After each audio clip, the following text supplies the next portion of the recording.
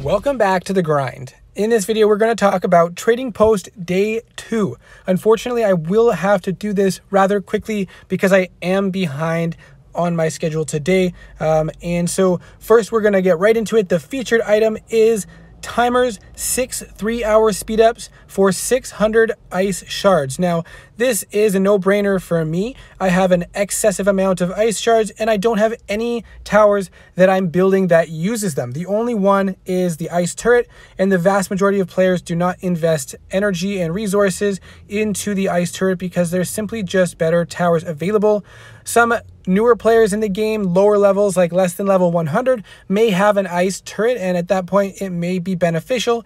However, once you get higher level, you will have excessive amounts of ice shards that you don't need, and getting timers instead uh, in exchange for them is definitely an, uh, an awesome idea. So next is this bundle of 15 summon warrior spells and 15 invincible shield spells. Now, if you, you like to use these and you're always short on them, and you happen to have the extra sigils, then by all means, it's not a bad deal. Personally, I don't use spells enough that I feel like I need to purchase them. I just can let them continually forge in my forge, and I have excess amounts of many of the different types of spells. So for me, that's a pass. Next is the inner fires. They're not a terrible deal, but they're not like a must buy deal. You are kind of losing out on total um, resource value when you're spending sigils on these instead of, um, say, gold chests if you're converting it to the rubies through what we would call super sigil, like through the super sigil chests.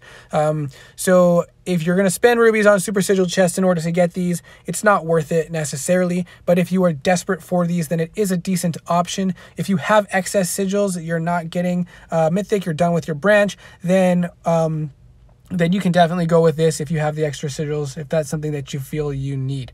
And next is the egg tokens. It also is not a terrible deal, but it is not one of the best deals we've had for egg tokens. So it's not the worst if you feel like that's something you need. Uh, what does that come out to? A thousand sigils for 6,000 egg tokens. So, I mean, you know, it's it's a minor investment, and so just for the fun of clicks, let's do a couple of those. Um, but it's not really a must buy and there have been better deals out there. So we'll just stop with five there.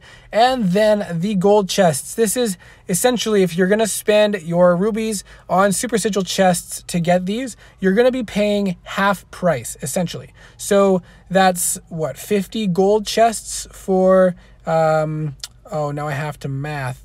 2,500, is that right?